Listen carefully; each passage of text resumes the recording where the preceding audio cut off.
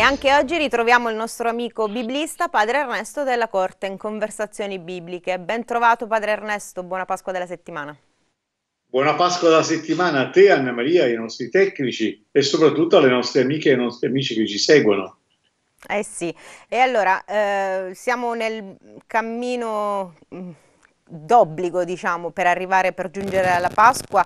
Questo periodo è considerato un tempo penitenziale di sacrifici, di rinunce, invece oggi la liturgia ci spiazza con un Vangelo pieno di sole e di luce.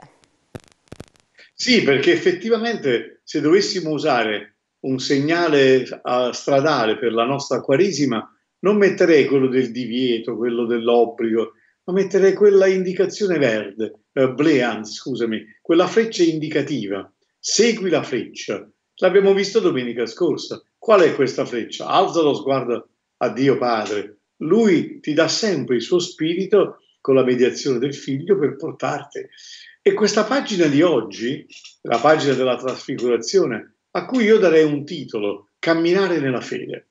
Perché Gesù, il testo di oggi, stiamo attenti perché l'incipit della, della liturgia dice in quel tempo, ma in realtà Matteo scrive sei giorni dopo. È importante quella notazione, peccato che venga cancellata. Io consiglio sempre di rimetterla al suo posto, sei giorni dopo. Perché Matteo vuole mettere questo sei? Perché c'è stato sei giorni prima una lunga catechesi di Gesù che ha culminato in quella espressione: se qualcuno vuole venire dietro di me, rinneghi se stesso, prenda la sua croce e mi segua. Sono le famose indicazioni per il cammino da fare insieme a Gesù. Dopo questa catechesi, sei giorni dopo, cioè 7 meno 1, ormai sappiamo 6 è, il numero di non perfezione, il 7 avverrà solo con la Pasqua, Gesù conduce Pietro, Giacomo e Giovanni su questa montagna alta della trasfigurazione, è il famoso Monte Tabor. Perché mette quei sei giorni? Sull'ombra il nostro Matteo, ovviamente sullo sfondo come al solito mette il libro dell'Esodo, rilegge l'Antico Testamento.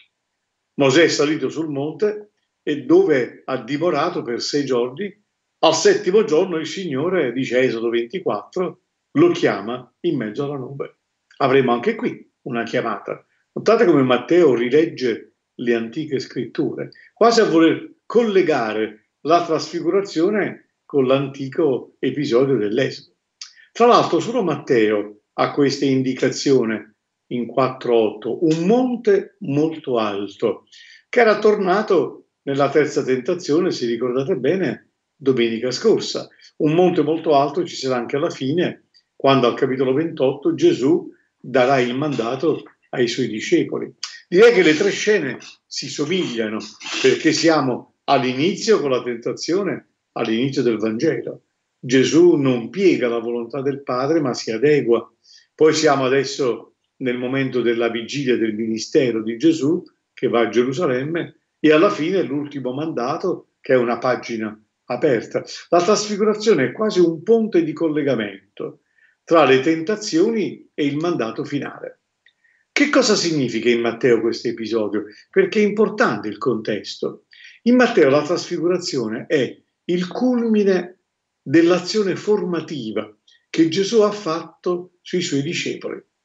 Perché questa pagina è l'unica volta e sarà l'unica volta che Gesù davvero vuole infondere fiducia e speranza ai discepoli, insegnando loro che la vita prevale sulla morte. È un anticipo della Pasqua. Gesù vuol far sperimentare ai tre discepoli l'esperienza molto forte della forza della Pasqua. La Pasqua ha una forza incredibile. Gesù ha annunciato la propria morte, apre questo mistero come una sorta di finestra di luce, no? attraverso quella, quella via, anche se dolorosa, arriverà una luce immensa. È quello che hai detto tu all'inizio, Anna Maria. Oggi è una giornata piena di luce. E questa è la trasfigurazione, una luce che ci invade e ci circonda, perché come Dio ha parlato a Mosè nella nube, così oggi il Padre parlerà ai discepoli.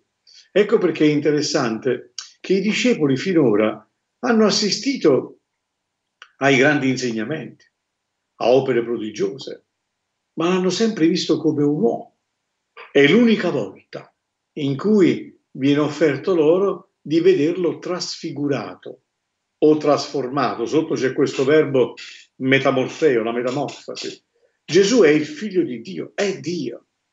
Ecco perché sia Matteo che Marco parlano di questa metamorfosi, cioè un mutamento di aspetto. Ma attenzione perché Matteo, rispetto a Marco, aggiunge una frase interessante. Il suo volto, quindi sottolinea il volto, brillò come il sole e le sue vesti divennero bianche come luce. Quindi Matteo sottolinea il volto, Marco sottolinea le vesti. È chiaro che qui Mosè c'entra di nuovo perché Matteo ricorda un parallelo. Mosè, dopo aver incontrato il Signore, si accorge che la pelle del suo viso è diventata raggiante a motivo di aver parlato col Signore. E qui nel testo ebraico c'è una curiosità che vorrei dire alle nostre amiche e ai nostri amici. Il testo ebraico usa un verbo Karan, che ha le stesse radici della parola corno. Ecco perché il povero Mosè da Michelangelo viene raffigurato con due corni in fronte. Una cattiva esegesi, in realtà avrebbe dovuto fargli, se gliel'avessero spiegato, una enorme luce, una sorta di, di, di aureola di luce, perché era diventato luminoso il suo volto a motivo della esperienza con Dio. La gloria risplende ora in Gesù. Ecco che cosa avviene? E i discepoli davanti a questa gloria ne restano abbagliati, pur essendo avvolti nella nube. Quindi il mistero della trascendenza è occultato. È una nube luminosa, è un ossimoro, no?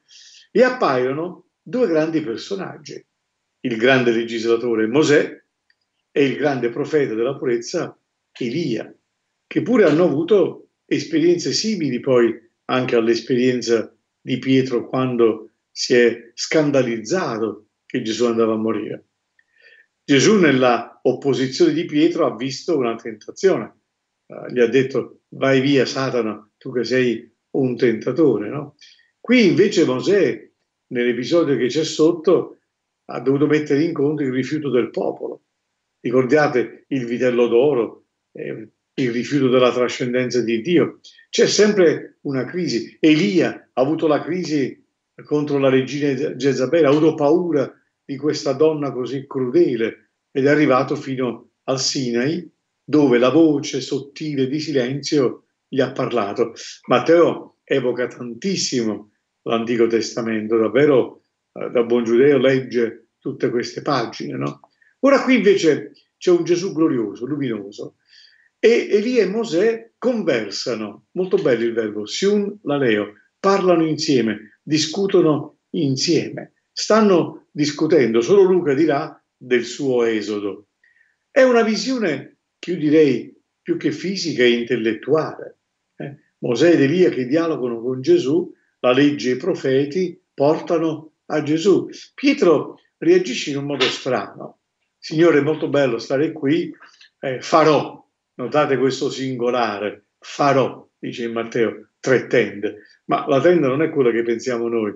La tenda era un vero e proprio appartamento, diviso in tante zone, la cucina, la zona delle donne, degli uomini, la parte antistante. E, e, e Pietro vuole da solo costruire addirittura tre. È una, una reazione spropositata. Che cosa c'è dietro questa reazione? La tentazione di un messianismo trionfante il tentativo di voler fermare quel mistero che deve arrivare alla luce, però passando per il mistero della passione e della croce. Quindi è importante. La nube li adombra e il padre parla. Questa volta non come al battesimo ha parlato a Gesù, questa volta parla a loro e gli indica Gesù, questo è il figlio mio, quindi è il figlio di Dio, è Dio, è l'amato, nel quale io mi sono compiaciuto, quindi l'ho scelto come mediatore. Ascoltate lui. E il verbo è all'imperativo presente, a dire ascoltate e continuate a ascoltarlo. Quindi ascoltate lui, è un imperativo forte. Sembra che richiami quell'ascolta Israele dello Shema di Deuteronomio 6,4. Quindi il padre non solo riconosce il figlio, ma lo ha dato a noi e ci chiede di ascoltarlo, di appoggiarci alle sante scritture, perché il figlio è il Vangelo del Padre. Qual è la reazione dei discepoli? Dapprima cadono con la faccia a terra, poi è Gesù che si avvicina e li tocca. È molto bello, il testo greco letteralmente dice così, ascoltando i discepoli caddero sulla loro faccia e temettero molto. Ma si avvicinò Gesù e toccandoli disse, risorgete, alzatevi, smettetela di temere. Sono davvero due versetti che hanno due movimenti opposti. I discepoli caduti faccia a terra, Gesù li fa rialzare e passano dal grande timore al non temete. Ancora una volta, vedete, è un simbolismo pasquale. Gesù vuole fare capire che dopo la morte ci sarà la resurrezione. Gesù li tocca come ha toccato tanti ammalati, il lebroso, la mano della suocera di Pietro, i due ciechi, l'emorroissa. È un Gesù che ci tocca e toccarci vuol dire davvero uh, la fede, mentre la paura è il contrario. Siate alzati, siate risorti. Il verbo nel testo greco è al passivo, quasi a voler indicare quel dinamismo della resurrezione che viene dall'alto, non dagli uomini. È un evento davvero molto bello. Che cosa vuole dirci con questa gloria luminosa che appare sul monte? Una garanzia della presenza e anche dell'approvazione di Dio. Alla fine, dice Matteo, Gesù resta solo. Solo per dire che cosa? Nella sua forma umana, quotidiana, rientra in quella ferialità. È l'unica volta che Gesù si è trasformato. Bisogna fare una scelta, no? bisogna fidarsi di Dio, bisogna seguire Gesù per la sua strada. Ecco che abbiamo detto all'inizio, camminare nella fede. Noi dobbiamo camminare nella fede, fidandoci delle scritture dove c'è la parola, dei sacramenti, di quell'amore che la Chiesa ogni giorno ci chiede. Solo così possiamo diventare pescatori di uomini, cioè testimoniare agli altri la grandezza di questo amore pasquale che qui viene anticipato, ma sarà vissuto non al sesto giorno, ma al settimo, cioè nella Pasqua del Signore. Ed è bello questo cammino nella fede che facciamo insieme a te, soprattutto in questo periodo, quello della Quaresima, in cui non ci abbandoni e eh, guardiamo questo segnale stradale blu che indica l'alto. È così che dobbiamo guardare. Effettivamente, vedi, la Quaresima ha questa linea rossa. Dobbiamo sempre guardare a qualcuno, il padre, e il padre oggi ci ha detto di guardare al figlio. Lo ha fatto anche la madre di Gesù quando a Cana ha detto fate quello che egli vi dirà. Indica sempre la presenza di Dio. Dio è in mezzo a noi e il nostro sguardo deve essere sempre rivolto a Lui. Grazie Padre Ernesto, a nome di tutti coloro che ci seguono e alla prossima. Buona trasfigurazione, buona Pasqua della settimana. Shalom. Shalom.